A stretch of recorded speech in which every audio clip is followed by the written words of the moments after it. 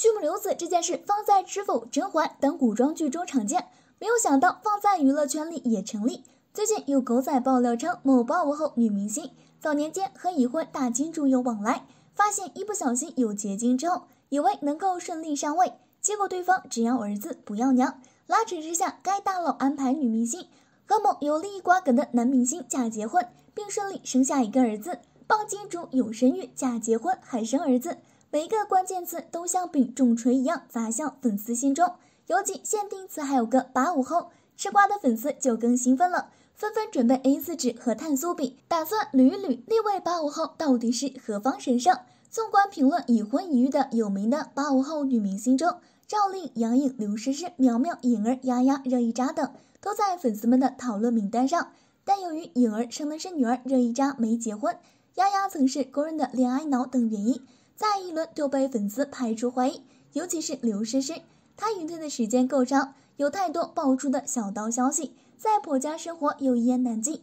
粉丝们认为，如果瓜中之人是她，婆家不可能隐忍这么久，所以第二轮被排除，剩下的就只有赵丽颖、杨颖、苗苗三人讨论最多，而且前提还必须是狗仔说的那位八五花是有名的女星。首先是赵丽颖，粉丝怀疑她的原因有很多，最重要的是就是觉得她。和郭二叔的婚姻过程有些儿戏，婚前的恋爱期鲜少有特别甜的动向，只是在某一天突然爆出结婚声明，而官宣的前两个月还传出了赵丽颖心，是因为身怀有孕的新闻。当时赵姐的回应是身穿小裙裙劈个叉，如此风马牛不相及的回应，看得粉丝云里雾里，还以为她是说大家想差了，没想到表达的意思是想开了。两个月后，赵冯两人突然官宣。并在第二年的春天生下孩子。逆推时间计算，蕾丝劈叉实在是劈了个寂寞，闪婚闪离不办婚礼。婚姻存续期间亦不见有任何高调秀爱的迹象，甚至通关画面都很少，完全一副公私分明的模样。尤其是那结婚和离婚声明，冰冷的就像官网公布投标结果一样。且离婚后的赵姐资源飞升，直接从古偶女主跻身正剧行列。虽然她本身也有实力跨越，但转型的时间点和效果。结合婚姻前后期间的状态，令人怀疑。不过话又说回来了，赵令巅峰期时一年中休息时间寥寥无几，就差点直接把家都搬到了影视城。女人眼中除了杨幂之外，就属她最拼命。这种高频率的工作，哪个金主有耐心一直等？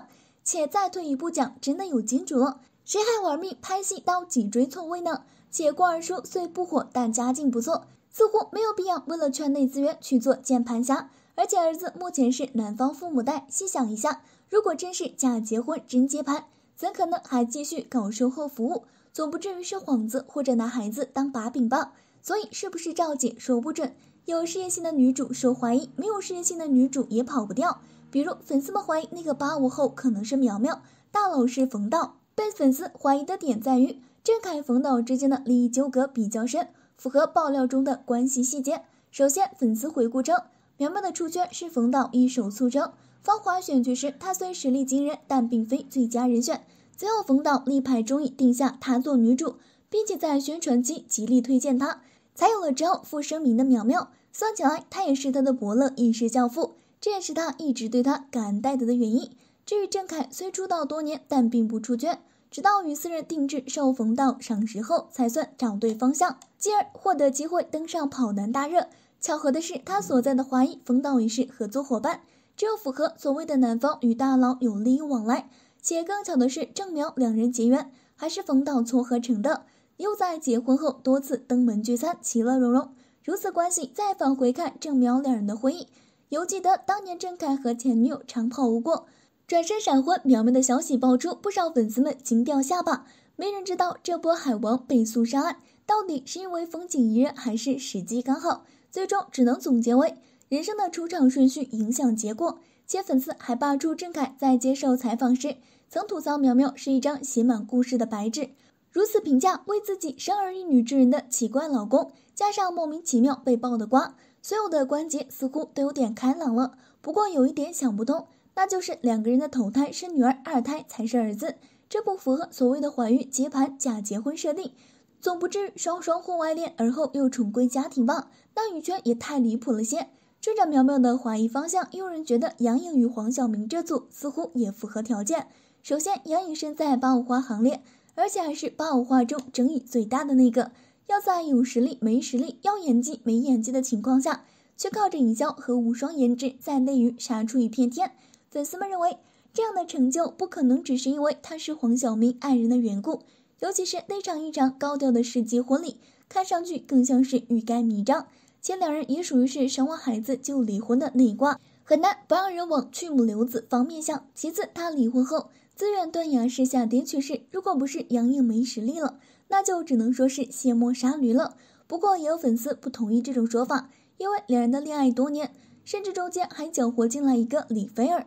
如果是传闻中的接盘，不至于布局这么久，也不至于在很多镜头下都能找到他们恩爱的痕迹，包括领奖台上的眼神拉丝。所以猜测他们夫妇是接盘生子的粉丝们虽多，而反对的声音更多。不知道是背后布局者城府太深，搞局中局，还是他真的只是躺枪。如果是躺的话，就不得不说一句美女实惨了。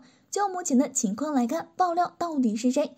只要狗仔一日不公布，那就永远还处于不明朗的地步。往远了讲，只要娱圈一日不肃静，就永远会有人被泼脏水。就像这次的狗仔预告一样，有瓜就是有瓜，没瓜就是没瓜。为什么非要搞个预告让大家费心费力的猜？无非就是一个字：钱。动静越大，幕后之人的出价越高，最后浪费时间的是粉丝，得利的是狗仔。所以，虽然吃瓜吃得很 happy，但是对这种勾人胃口、夸大其词、没有职业道德的狗仔，仍保有唾弃之心，且平等的唾弃每一个满腿跑火车的狗仔。